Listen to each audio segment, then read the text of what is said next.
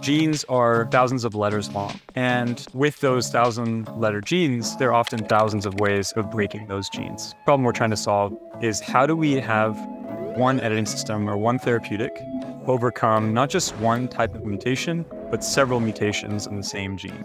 Hi, I'm Jacob. I'm building Amber, where we're building new editing systems for RNA therapeutics.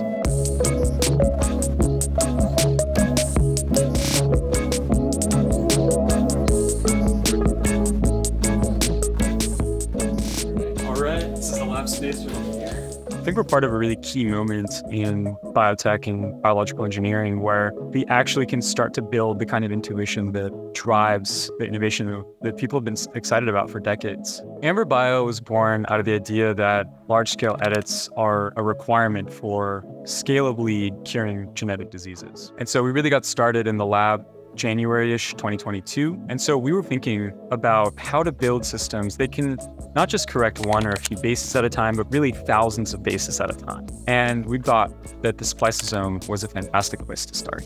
The spliceosome is an RNA-guided RNA recombinase system that basically recombines RNA in healthy cells all the time. It's active in any cell it's making RNA. Today, many of the therapeutics that we see are actually encouraging the spliceosome to make mistakes. And these mistakes lead to skipping events, which can, in some cases, restore function of the protein.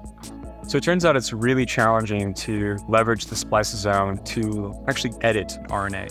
What we've been able to do at Amber is actually leverage CRISPR-Cas systems to accomplish this. So we think about our CRISPR-Cas systems as homing devices where we can guide a repair template, this is a repair RNA, to basically a site of splicing, and then encourage a splicing event that actually changes the code of your target messenger RNA, thereby creating healthy protein and hopefully curing disease. If you think about the genome as a book, and that book has the code, the blueprint to make all the proteins and all the key molecules uh, in an organism, then a mutation is a change in a letter or a few letters on a page in that book. In many cases, mutations lead to disease. Therapeutics today focus on correcting one or a few letters in that book, or in some cases, removing some of those letters. There are different ways of breaking the code in that book.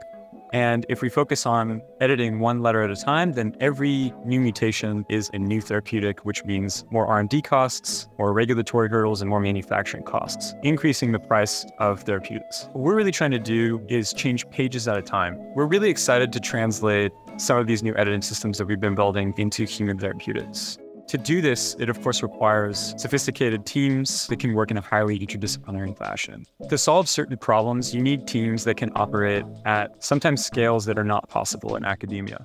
Those academic structures are great for proof of concept, where you have an idea and you want to get a little bit of data to show that that actually can work.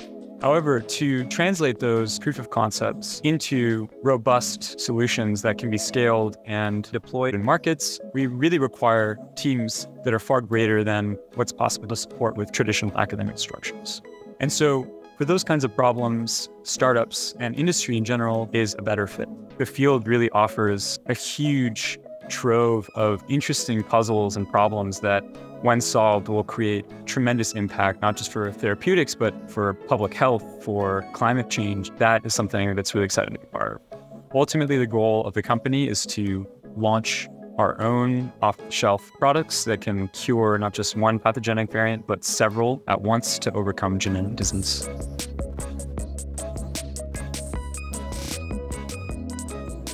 Thank you for watching episode 16 of S3 and our second episode of our Bio Blackout in partnership with Pillar.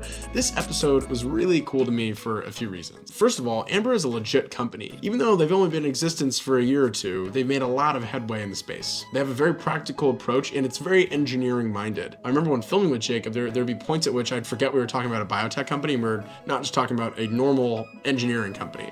And I even asked him about it, like, why you talk about this like engineering, not biotechnology or biology? And he's like, well, to build products and to build things that are going to help people, you need to look at it that way from an engineering approach versus a biology and discovery approach. I think in general, the average person thinks of biology and they think of deep research, academia, really, really complex stuff, which is all true and valid. But in this kind of new world we're venturing into, there's so much opportunity to build real products based on engineering principles for the world. Another thing that's cool is I think this is a similar output idea as Octant, our previous episode, where it's about creating therapeutics to improve lives and to save lives, but it's a totally different approach. The end goal between Octant and Amber is similar. It's to create therapeutics that save and improve lives, but the ways that they get there are very different. I want to give a huge thank you to Pillar, who is sponsoring this bio blackout so that we can go and tell the stories of revolutionary biotech startups. When you think biotech, you do not tend to think small and scrappy and startupy. You might think big, expensive, and things that take a long time. And that's true, and there's some merit to that. But S3 and Pillar is really excited about this idea of founder led bio. It's not a new concept in general. We've sort of seen it with deep tech and hard tech, where instead of relying on traditional manufacturers and really big government programs to go build innovative stuff, startups and people with crazy ambition and ideas can go and do it too. But to biotech,